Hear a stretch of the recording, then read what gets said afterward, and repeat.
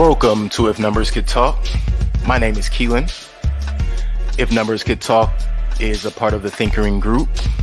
You can find us over at thinkering.space. You can also find at Thinkering Space the Thinkering Talks podcast, the Exofathom podcast, along with the Plank Talks with Joe. When you get a chance, please check out our merchandise. We have merchandise on our website, thinkering.space, as well as merchandise at teespring.com slash thinkering shop. Please visit, grab a t-shirt, grab a mug. We'll appreciate it. And when you do, feel free to let us know that you've decided to become a member of any of our fan clubs. If numbers could talk, we'll be having an episode today that is commemorating the NBA, but also commemorating the NBA. I mean, excuse me, the Christmas season. So the NBA Christmas Day games.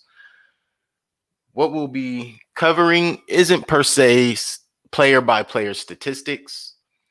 We won't necessarily be worried about who did the best, who did the worst, who uh, uh who simply didn't show up.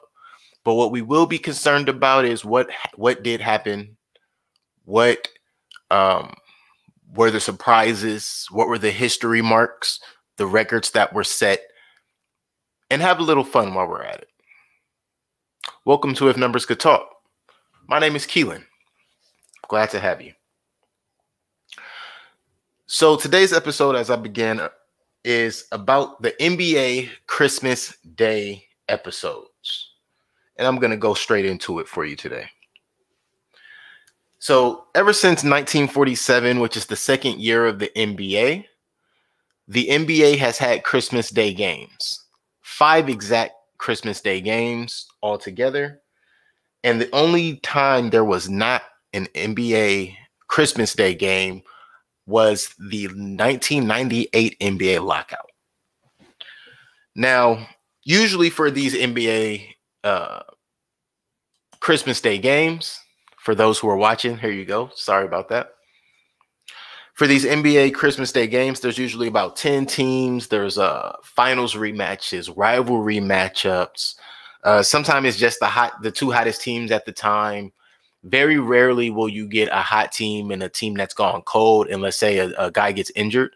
And um, to my recollection, there's even been a few times where there were injured players and that game may have gotten switched out. Um, I couldn't find that. I looked for it and I couldn't find any proof of that, but I remember that to some extent happening in the past.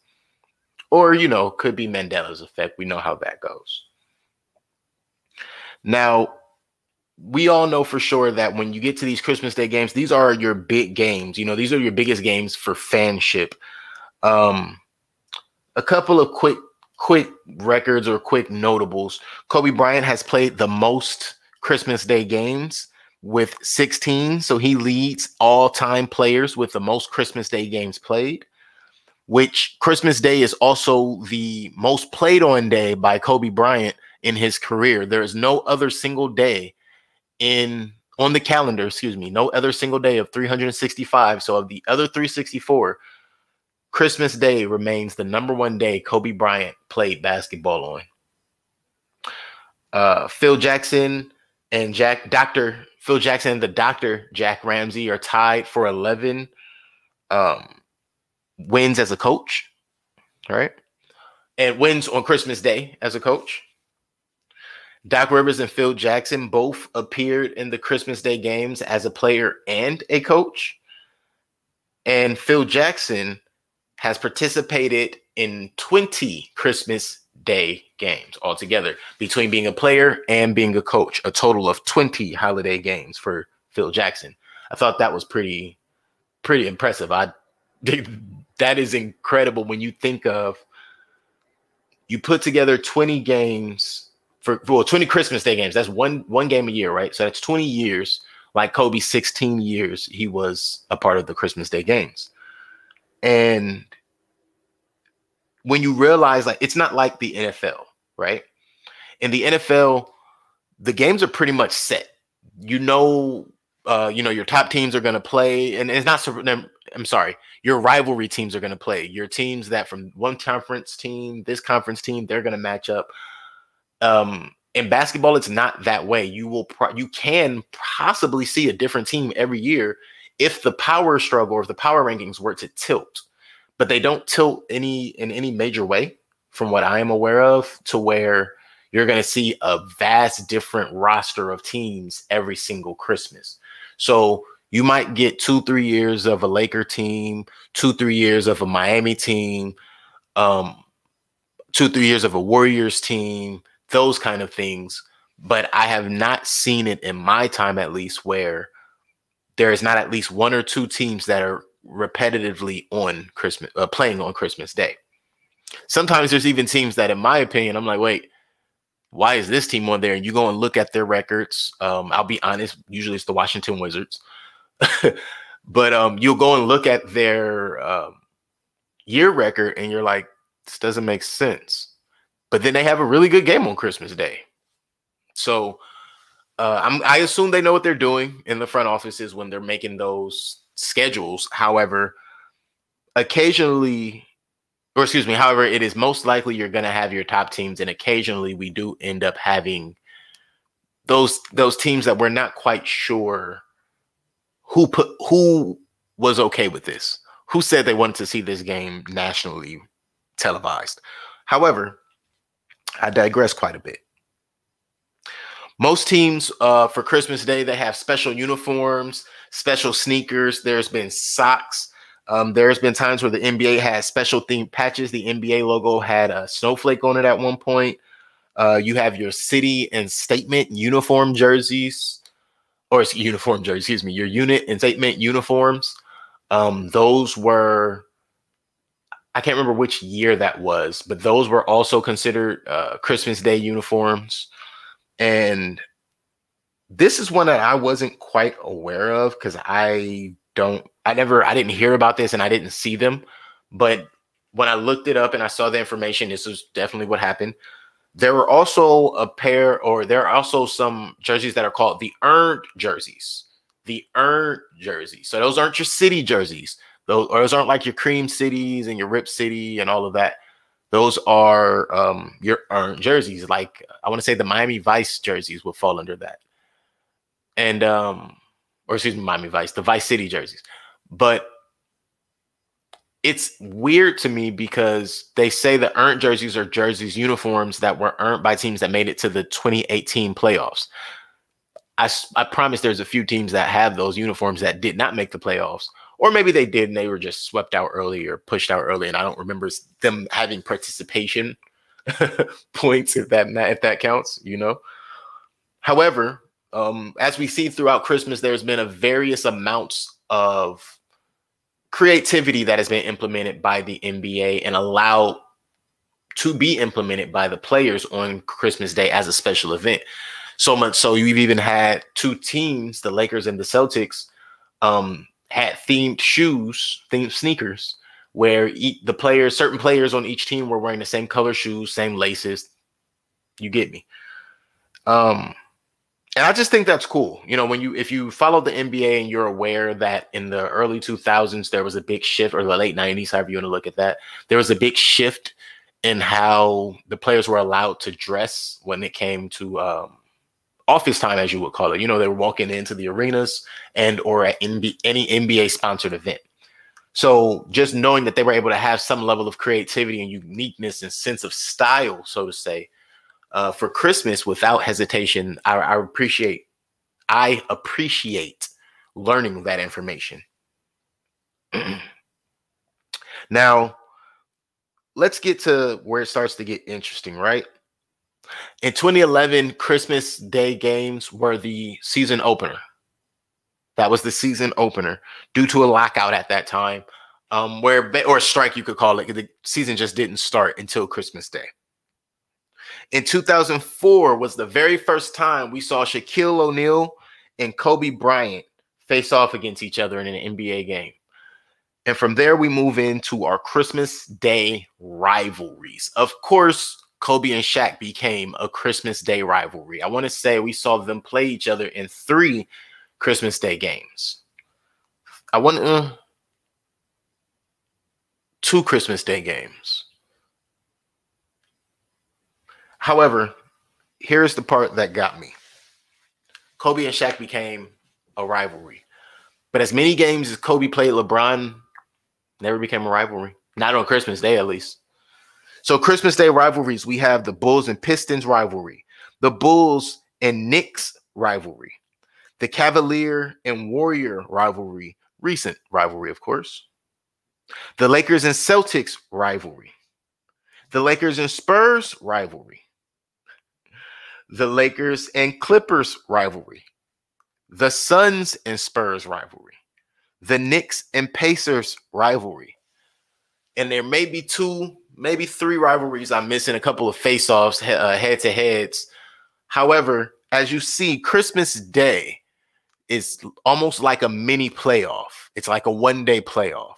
If you make if you have a Christmas Day game, you are almost inevitably a playoff bound team at that point at, at that point of the league or excuse me that point of the season which would be right around halfway right as we're getting halfway through the season so you you hear all the rivalries you're aware of all of the players that have played you're aware of your favorite player if you were to watch them have played.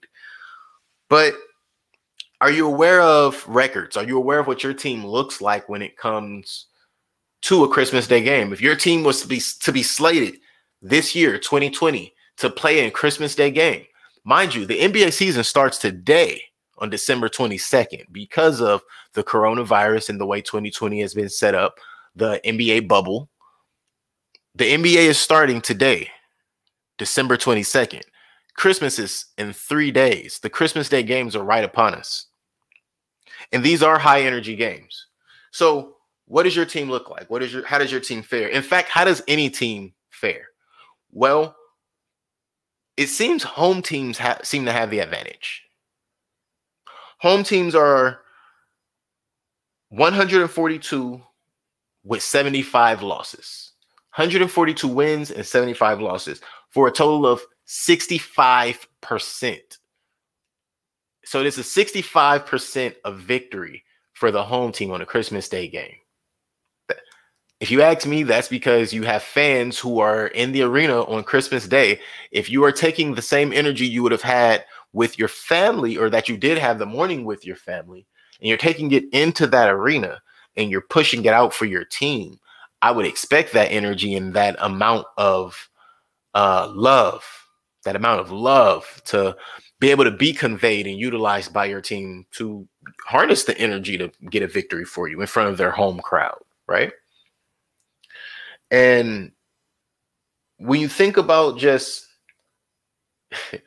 you have home teams, you have away teams, and what we're aware of is the NBA has Christmas Day games. The NBA has always had Christmas Day games. But there has there is no NBA Christmas Eve games. There are no Christmas Eve games. The NBA does reserve Christmas Eve for the players to be with their families. Now, I'm not sure exactly how likely that is um, for guys who are scheduled to play on Christmas Day, unless you're the home team. And even then, I'm not sure exactly how that works out for you because you're not able to, you know, really eat or or not eat, but eat certain things and pig out. Everybody doesn't have the same diet. Some guys can only eat a certain thing moving into games and during season. So I don't want to make it seem as if these guys still get a normal holiday like anyone else. That is not the case. But the NBA has stated that they do put aside time for their guys to spend time with their family on Christmas Eve. But the amount of energy that is put out by the fans on Christmas Day, to me, explains the 65% win uh, rate for home teams on Christmas Day. Christmas Day. Gonna keep saying it. Now, keeping in mind that the first national, the first nationally televised Christmas Day game was in 1967, the channels and the stations that we are familiar with now that broadcast those stations or those games, now we have uh, your ESPN ABC, uh, they do simulcast. Uh, I know mostly for Laker games. I'm not sure if it's for every game. Um, and I'm only not sure if it's for every game because I live in California. So we are automatically getting Laker and Warrior games. Um, it just is what it is. However, I am not aware if, you know, the Sixer and Celtic game is also on simulcast. It, it, may be on the East Coast. I'm not sure if it is out here, but I know for sure we can catch it on, say, ESPN. Also, keep in mind that there was a time where you could catch the Christmas Day games on your local stations, your uh, CBS, ABC, NBC, and then that changed over time. But it wasn't until 1983 that be, it became steady, and as of recent, the recent years, uh, I believe it's 2018, 2019, and this year included, we will have a simulcast where ABC and ESPN will be broadcasting specific games at the exact same time. Next, we'll move into the NBA Christmas Day team records. Team records. What what did your team look like? I was I asked a minute ago, what did your team look like? Is your team likely to win? Is your team likely to lose? And as we saw, home teams are more likely to win. So I'm just to go through every NBA team really quick with their records. I'm not to go through percentage this time, but win loss, win loss records. That's all. The Atlanta Hawks, they are 9 and 11 on Christmas Day. Boston Celtics are 15 and 18 on Christmas Day. The Nets are 4 and 5. The Hornets have never played a Christmas Day game. The Bulls are 13 and 7 on Christmas Day. The Cavaliers are seven and seven on Christmas Day. The Mavericks are two and one. The Nuggets are one and five. The Pistons are 10 and 22. Golden State Warriors 13 with 16 losses. Houston Rockets, six wins, six losses. Indiana Pacers are two and two on Christmas Day. The Los Angeles Clippers are seven and eight on Christmas Day. The Los Angeles Lakers break even at 23 wins and 23 losses, 50 50, 500 for the Los Angeles Lakers. The Grizzlies have never played a Christmas Day game. The Miami Heat are 10 and 2 on Christmas Day. They have only lost two Christmas Day games. The Milwaukee Bucks are 3 and 3 on Christmas Day. Timberwolves 1 and 1 on Christmas Day. Pelicans 1 and 2. The New York Knickerbockers are 20 and 31 on Christmas Day. I apologize. The New York Knickerbockers are 22 and 31 on Christmas Day. Thunder 6 and 14 on Christmas Day. Orlando Magic are 5 and 4. 76ers are 18 and 14 on Christmas Day. The Phoenix Suns are 12 and 6, which is pretty impressive on Christmas Day. Portland Trailblazers are 14 and 4. Sacramento Kings 18 and 11. San Antonio Spurs are 4 and 6. The Toronto Raptors are 0 and 2. Port- Portland Jazz, excuse me. The Utah Jazz are 5 and 2, while the Washington Wizards, as I said earlier, a little impressed. They play a lot of Christmas Day games. The Washington Wizards are 16 and 7 on Christmas Day. Keeping in mind the Washington Wizards haven't exactly been a top tier team um, as far as deep runs in the playoffs, but they have made the first round quite often. To see that in Chris on Christmas Day they are 16 and 7, and this is a team that plays very, very, very, very frequently on Christmas Day. And then you also have, as far as win-loss impressiveness, you also have the Miami Heat who are 10 and 2. The Miami Heat are 10 and 2. All 10 of those wins are by Dwyane Wade or with Dwyane Wade.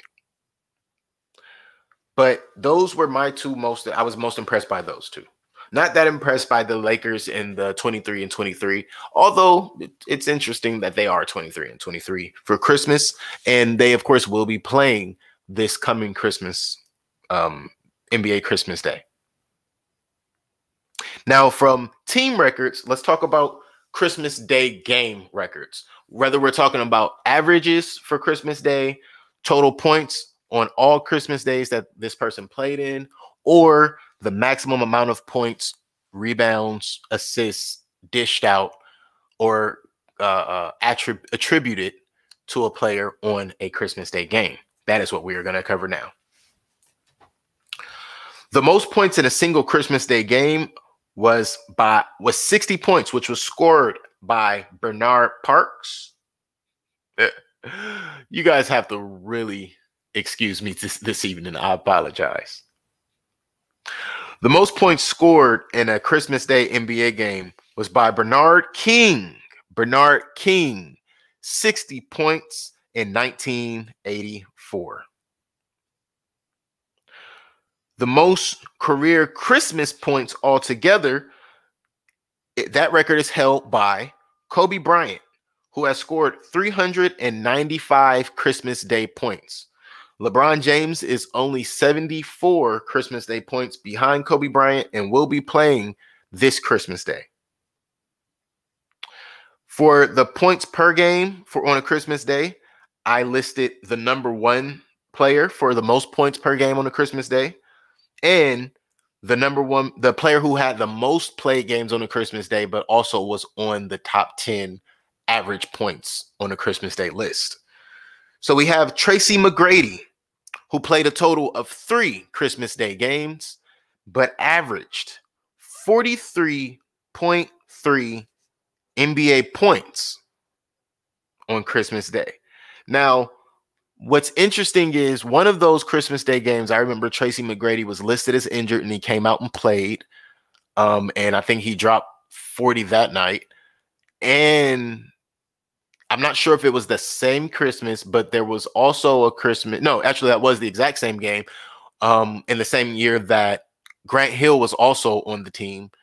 And Grant Hill had a very mediocre night. They were both dealing with injuries at that time.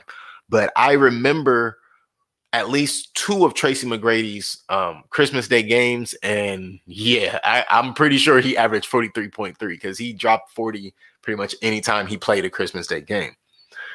But the player who played the most and averaged the most impressive amount in a Christmas Day game is one Oscar Robertson, who played 12 NBA Christmas Day games and averaged 31.4 points on an NBA Christmas Day. The most single game rebounds on an NBA Christmas Day was by Wilt Chamberlain. In 1961, Wilt Chamberlain grabbed 36 rebounds on Christmas Day. The player that has the most rebounds on Christmas Day total, playing eight games, was Bill Russell with 176 Christmas Day rebounds. Wilt Chamberlain, however, has the career rebound average high for the NBA Christmas Day games at 25.3 rebounds for Wilt Chamberlain. Now, for assists, assists, I was actually again impressed most of the these guys aren't modern. The uh, assist leaders for Christmas Day games is not your modern guys. One, the second part was the lowest and the top. I believe say it was eight was sixteen, and number three through eight was Oscar Robertson. so, um, oh, and Tiny Archibald was mixed in there as well. So we have the most assists dished in a Christmas Day game Tied at 18, we have Tiny Archibald and Guy Rodgers. Right behind them, we have at 17 and 16, and mixed in at 16 as well, Tiny Archibald with Oscar Robertson. So Oscar Robertson had about six of the top 10 slots. Um, Tiny Archibald had three, and Guy Rodgers had one the career assist high. Who has the most assists in NBA Christmas Day history? Well, of course, if you listened just a minute ago, that would have to be one Oscar Robertson, who has 145 Christmas Day assists. The closest two behind him are Kobe Bryant with 85 and LeBron James with 82 Christmas Day assists. Christmas Day assist per game, Oscar Robertson had 12.1 for every game. But in the modern day, the number one guy on the list for assists per game on a Christmas day is John Wall with 12.5 assists on a Christmas day for average. Now, when it comes to the other stats, steals and blocks specifically, there wasn't really an average to be found or in high, or an accumulative number uh, from what I was looking up. I did try to find them. They weren't as simple to find as the others, but I'll give you the numbers on who has the record. The steal record was set in 2016 and is currently held by Kyrie Irving with seven steals on an NBA Christmas Day. The NBA Christmas Day block record was set in 2011 by DeAndre Jordan with eight Christmas Day blocks. The most wins, the most wins was set by a guy who played 13 NBA Christmas Day games. He has 10 NBA Christmas Day victories, and his name is Dwyane Wade. Dwyane Wade has the most NBA Christmas Day wins with 10 NBA Christmas Day wins of his 13 games played. The player that has the most losses in NBA Christmas Day history also has played the most games in NBA Christmas Day history. He has played 16 NBA Christmas Day games and lost 10 of 16 NBA Christmas Day games. That player is Kobe Bean Bryant. Kobe Bryant has lost 10 NBA Christmas Day games. Now, once we get past all of that, we know who our top players are when it comes to points, who our top assist players are. We know where our record, our rivalries came from. We know, you know, we have a good understanding of what to expect on a Christmas for a Christmas Day game, for a Christmas Day lineup. It's an all-day event. It's an all-day event. The guys are playing from from uh, sunrise to sunset, so to speak. Not exactly, but definitely beyond sunset. But something I also wanted to run by you or run for you. I wanted to ensure that this message, these this information got out there. And again, excuse me this evening for my stuttering. The best games in, on NBA Christmas Day vary. They are ranked across the board at 12 games and 10 games and your top five games and the best game of all time on Christmas Day.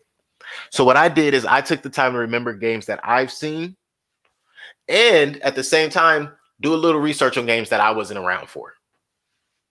So, I have here what did I do? Three games that I thought were just incredible games. And one is my number one, and I believe the number one game not only for ratings, but also for fanfare as far as NBA Christmas Day games go. So coming in, and again, the first two are not in any particular order, but the very last one is my number one. You have the New York Knicks versus the New Jersey Nets. This is the older game that I was not around for. However, I did a little bit of history, and without knowing it, I chose the game that Bernard King set the career high uh, or the Christmas Day career high of 60 points, which was also the first time anyone had set, or excuse me, the first time anyone had scored 60 points in Madison Square Garden. Bernard King was also facing his ex teammate or his ex team, which was the New Jersey Nets at the time.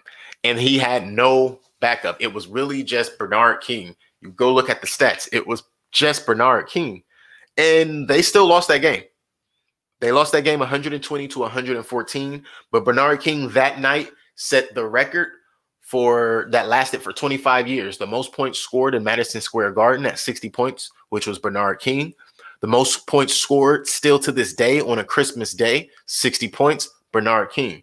So the very first game, notable game that I would say if you were to go back and look up some NBA Christmas Day games to give you a good feel of what this is about. 1984 New York Knicks versus the New Jersey Nets. The night Bernard King dropped 60 points. The next one I would say personally is the 2013 Lakers versus Heat game. The Miami Heat did win that game 101 to 95. And but the the hype behind the game, the energy behind the game, it was an amazing game. It was a great game to watch. Um and it wasn't so much as the Lakers loss. And I didn't go with some of the first games between the Lakers and the Heat, um, like the 2010 Laker and Heat game, where I mean, the way history looks, it almost is, is that was when that Miami team had arrived. It, that was the night that they said, "Hey, we're here." But in 2013, they were coming off of their back to back. The Lakers were still going hard at them, you know, still coming for them full force, full fledged, and um, it was just a fight tooth and nail. It was a fight tooth and nail. And at the end of it all, don't get me misunderstood. I don't think there was any inkling in even Laker fans' minds that Miami was um, proving a point, that they were making a statement. But we made a statement as well that night. The Lakers did. Uh, they made a statement that night as well. And the statement they made that night was, We won't back down and we don't care if you have a back to back. We've been there.